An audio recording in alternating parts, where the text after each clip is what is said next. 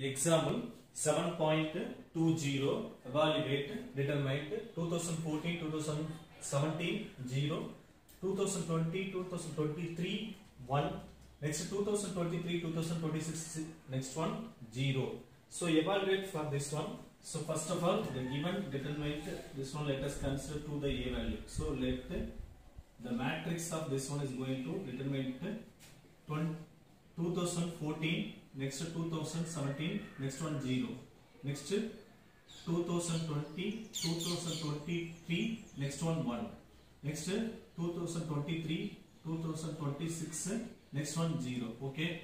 So first by using the property that is minus of this one that is called c1 c2 tends to c2 tends to c2 minus c1 so determinant of the first one there is no changes. C1 there is no changes. So 2014 2020 2023 okay va? C2 should be c2 minus e c1 இதுல இருந்து இத minus பண்றோம். So இதுல இருந்து minus பண்ணா நமக்கு என்ன கிடைக்கும்? 3 நெக்ஸ்ட் இதுல இருந்து மைனஸ் பண்ணா நமக்கு என்ன கிடைக்கும்? 3 தான் கிடைக்கும். இதுல இருந்து இத மைனஸ் பண்ணா என்ன கிடைக்கும்? 3 தான் கிடைக்கும். Remaining there is no changes. 1 0 0 1 0 okay va? The common value of C3 C3 is C2 is going to 3 only the common value. So is equal to 3 is a common value. The remaining 2014 1 0 next 2020 1 0 next this one 1 next 2023 next 1 0 okay va next expanding the r1 expansion. So determinant of a is equal to determinant of is equal to 3 into 3 into the first one 2014 2014 means that is the the 2014 ah.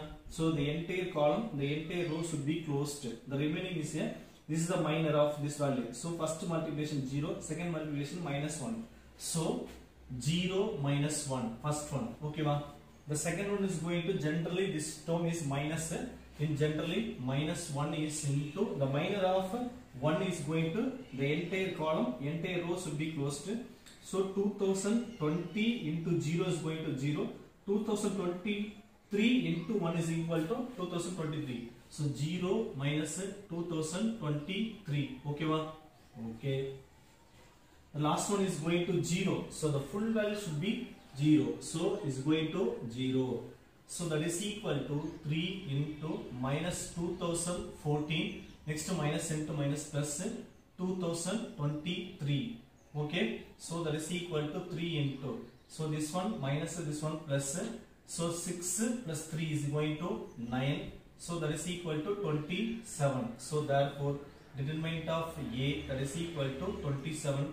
We get the answer. Sir, but the director rule is the rule is நம்ம டைரக்டா அந்த சம்ம solve பண்ண முடியுமானா எக்ஸாக்டா solve பண்ண முடியும். நீங்க ஜென்ரலா என்ன பண்ணலாம்? இதோட மைனர் கண்டுபிடிக்கணும்னா இந்த ரோ இந்த காலமையும் இந்த ரோவையும் க்ளோஸ் பண்ணிட்டு ரிமைனிங் மல்டிபிளேஷன் நெக்ஸ்ட் இந்த டேர்ம் எடுத்துட்டு இந்த காலத்தையும் இந்த ரோவையும் க்ளோஸ் பண்ணிட்டு ரிமைனிங் இந்த டேர்ம்ஸ் கன்சிடர் பண்ணலாம். நெக்ஸ்ட் ஜீரோ கன்சிடர் பண்ணா டைரக்டா டுவெண்ட்டி செவன் ஆன்சர் வரும். ஆனா பிக்கஸ்ட் நம்பரா இருக்கு இல்லையா? இதெல்லாம் பிக்கஸ்ட் நம்பரா இருக்கா?